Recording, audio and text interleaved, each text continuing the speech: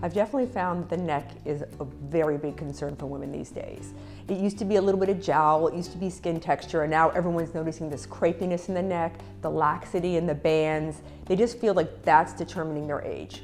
So what can you do to help that? that that's kind of tricky because it's a combination of sun damage, muscle laxity, the entire skin is kind of melting and not looking good anymore on the muscle. So you got to kind of improve everything from skin care.